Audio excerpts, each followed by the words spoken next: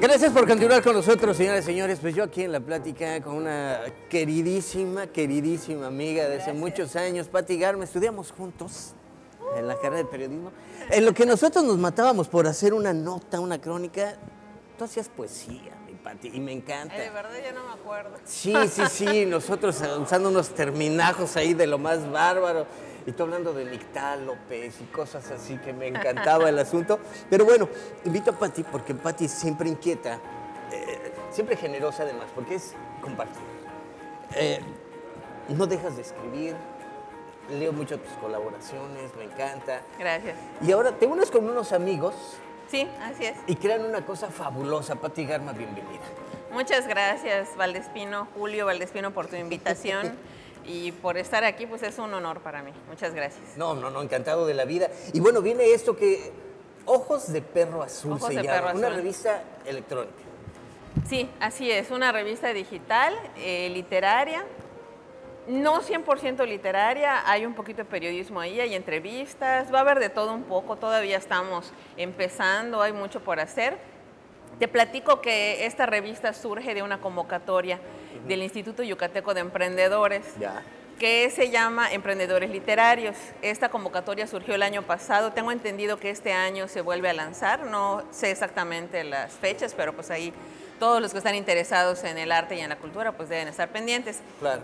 Eh, entramos a esta convocatoria como un colectivo, eh, unos compañeros y yo, eh, el escritor Iván Espadas, Rodrigo Aguilar Bolio, eh, José René Contreras Pino. El.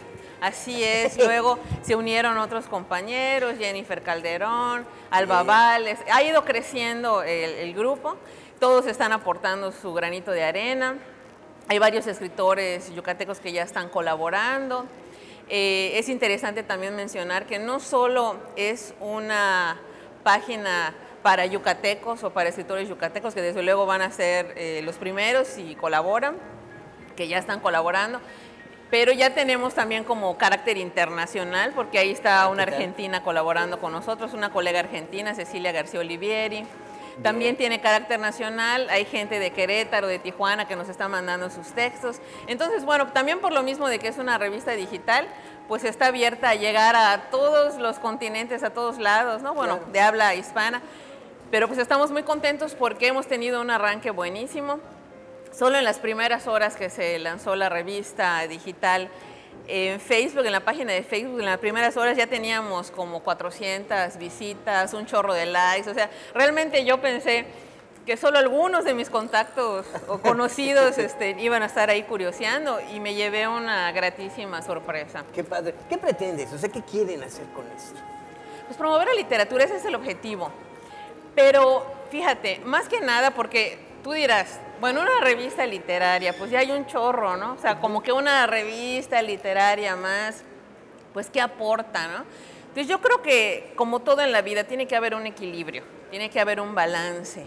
Ya. Sí, a lo mejor hay 100 o 200 revistas literarias en la web, pero también hay miles de miles de páginas de trivialidades que ya no están aportando nada a la sociedad, o muy poco. Ahorita estamos con este dominio de la imagen, estamos con las celebs en Instagram, que no aporta nada más que banalidad. Estamos con el meme, estamos con la selfie, ¿no? Todo es imagen, imagen, imagen. Entonces, ¿qué ha pasado con la palabra? Se ha perdido. ¿no? Entonces hay que recuperarla. Entonces, mientras más espacios haya dedicados a la palabra, pues mejor. Y eso no quiere decir que estemos peleados con las vanguardias, con lo nuevo, con lo que está de moda, con lo que la gente pide, con las nuevas tecnologías. Para nada, porque somos parte de las nuevas tecnologías al estar en, en la web. Y también va va a haber una sección que se llama Libro Minuto, que ya está en línea, Ajá. donde la gente o los escritores o personas tanto conocidas como no conocidas nos pueden mandar sus videos de un minuto recomendando un libro. Nada más se tienen que presentar, decir quiénes son, qué hacen y mira, yo recomiendo este libro por esto, por esto, por eso. Y estamos promoviendo la literatura, que ese es el objetivo, ¿no? Difundir la literatura de una manera diferente, de una manera dinámica, amena. No queremos ser una revista elitista, ni que se relacione solo con un grupito, ¿no? Que porque de repente igual pasa eso, que es tendencioso. Sí. No, estamos abiertos a todo el que quiera colaborar. Desde luego este, va a haber un consejo editorial, se va a cuidar mucho la calidad literaria. Por supuesto.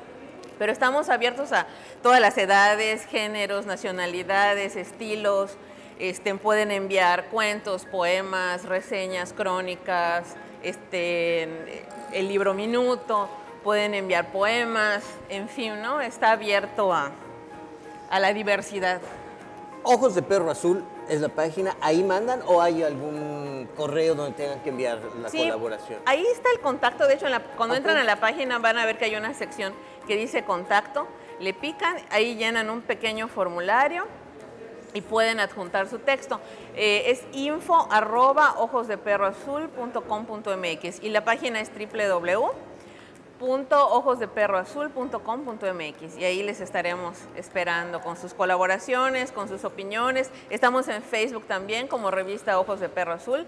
Ahí vamos a estar promocionando todas nuestras publicaciones, todas nuestras colaboraciones, haciéndole promoción a toda la gente que amablemente está colaborando con nosotros desinteresadamente. Le estamos, estamos muy agradecidos con todos ellos porque pues el, el inicio fue muy bueno, la Qué verdad. bueno. No, y yo te agradezco mucho que nos hayas permitido tenerte aquí, que compartas con todos nosotros, que conozcamos esto y que le auguro muchísimo éxito. Muchas gracias, muchas te- gracias, Julio. Te agradezco y te quiero mucho, mi Ah, patichula. gracias.